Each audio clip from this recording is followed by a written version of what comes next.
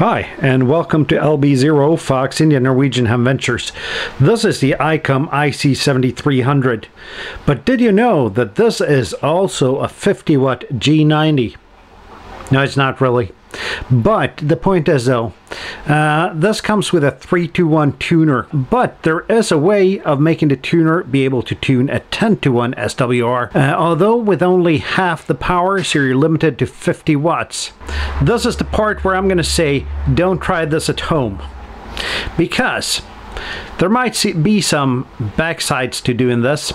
I haven't experienced any. I know Mike N2MAK hasn't either, but there is some risk by doing this.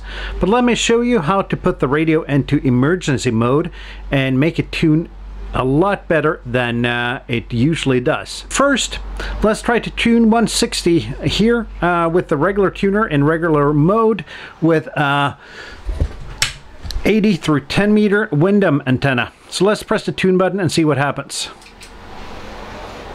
It does not get a tune, not even close. So let's press the menu button, press set,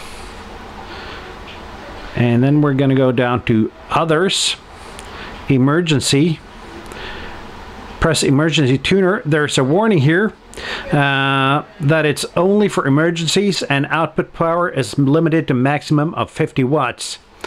So I'm going to press OK and then I'm going to press to restart the radio. And here we are, and you can see the E up here. That indicates that the radio is in emergency mode. So let's press the tune button here. And boom, we got a tune straight away. And it's E tune here.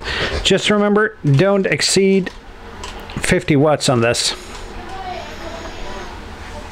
And that's how easy it is. Unfortunately, it's not the right time of year or the right time of day to do a 160 meter QSO, but this is how you do it. When you want to go back to regular mode, press menu, set, others, emergency, uncheck the tuner, and restart the radio. And boom, you're back.